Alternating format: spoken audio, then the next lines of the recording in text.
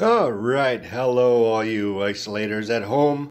Uh, it's Andrew coming at you. Uh, I was just in the middle of making my uh, special drink here, uh, which does wonders to uh, keep the throat clear and help with uh, keeping the virus away from getting in your body.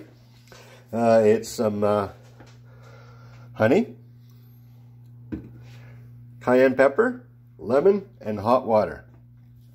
So what you do is you take the uh, the Manuka honey is the best. Uh, Manuka honey is uh, fantastic. You don't want to go for the stuff that's store bought, the busy bee and stuff that has added sugar and stuff. This is you want pure natural honey.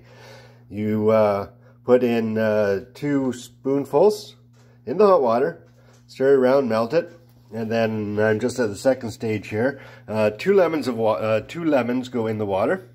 So yeah, just squeeze them and I've got uh, the knife there. I'll uh, poke the uh, pulp and get all the lemon juice out of there. And then the next step is putting in a teaspoon of cayenne pepper. Stir it around. And uh, there you go. You've got yourself a nice uh, warm glass or uh, use a water bottle. This is a water bottle like this. This takes about 26 ounces of water um, and then uh, you're good to go. Uh, it will uh, keep your throat nice and clear, soothe, soothe your throat, and you'll be surprised what the cayenne does. You can feel it working. You might have to, to cough up some phlegm afterwards. It just clears your throat right out. And it's all natural. Cheers.